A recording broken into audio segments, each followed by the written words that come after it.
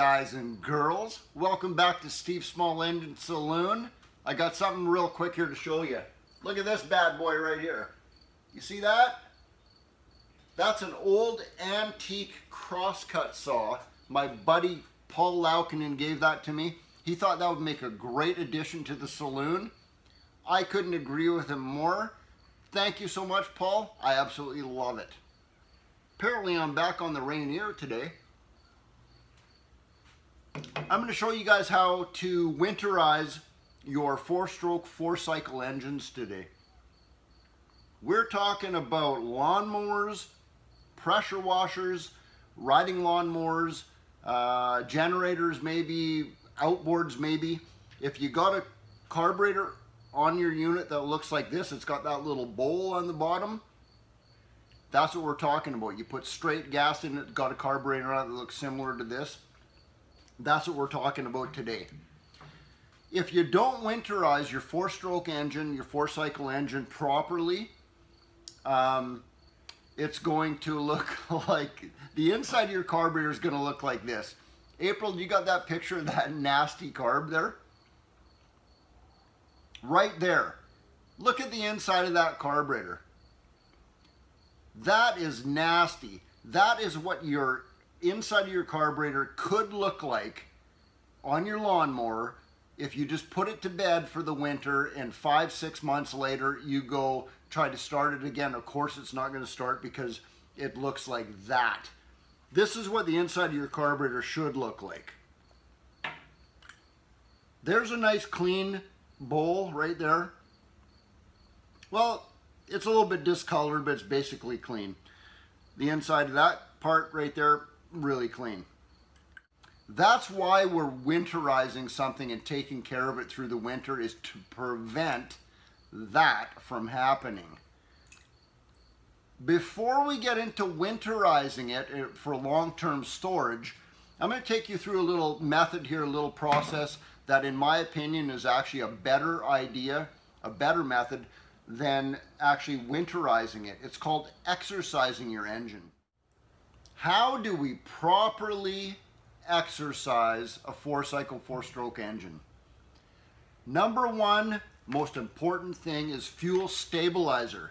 Fuel stabilizer comes in different quantities, different manufacturers, but if it says fuel stabilizer on it like that, go ahead and use it. That is the most important thing there is. Go get yourself some of that. Next thing you got to do Go to the fuel station right from the pump. Get yourself some nice, fresh, new fuel. Follow the directions on the back of that fuel stabilizer.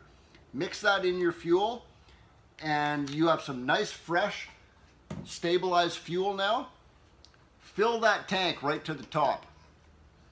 The reason I say fill it to the top is because those little carburetors like that hold about one ounce of fuel.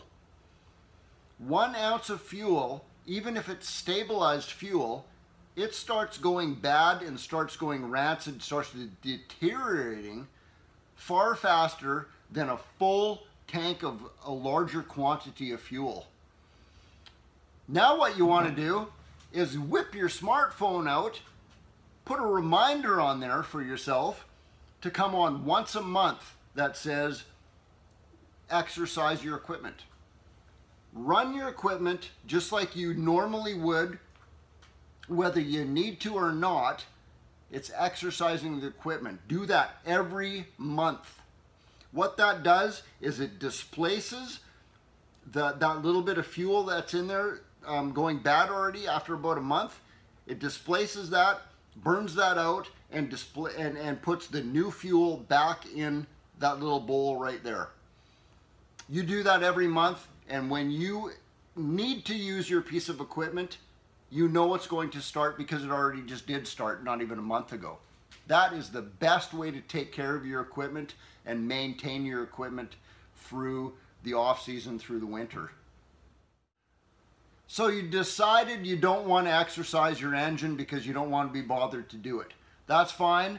You just want to put it in the in your garage and just leave it for months on end. Now we're going to actually go step by step on how to actually winterize this thing for long-term storage. Step by step here, number one, do what I just told you on stabilizing the fuel. Put fuel stabilized fuel in your tank. Now what you want to do is, uh, step number two is run this thing. You want to run it for, I'm going to say a good five minutes. It's not like a two-stroke engine that holds just a tiny bit where you just need to do it for a minute or so. This has an ounce of fuel in here. You got to run it for a, at least five minutes. What that's doing is displacing all the fuel out of there with the treated fuel that you already put in your tank.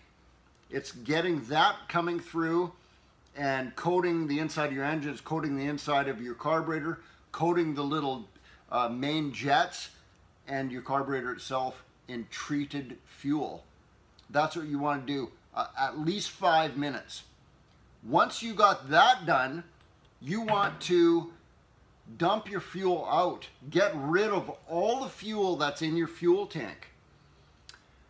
Siphon it out. If I mean, it's a lot easier to take a chainsaw and just dump the gas out of a chainsaw than taking your lawnmower and flipping it upside down. Get rid of the fuel in your fuel tank somehow, whether you siphon it out or whatever you have to do. Step number four, now that you have all the fuel out of your fuel tank itself, you still have some fuel left in your fuel line and inside that carburetor itself. It's still holding about an ounce of gas. Take it outside and restart it. Let it run until it dies. That's all you can do with a four cycle, four stroke engine. When it dies, it is out of fuel. The carburetor, the fuel tank, the fuel line should theoretically be dry when you do that. But the inside of the carburetor itself is now still coated with that stabilizer and that's what you want to happen. Now, theoretically, six months later, you know you just treated that thing properly, you winterized it properly, you go put fresh gas in that, fresh fuel in that next year, and it should start up and run just like it did the season before. I hope I helped you guys out again. Um, hit that little thumbs up button again if you like that. I hope it saved you some money. You didn't have to take it into the shop next year because your lawnmower wouldn't start. Till the next season, guys. Cheers from Canada. Steve out.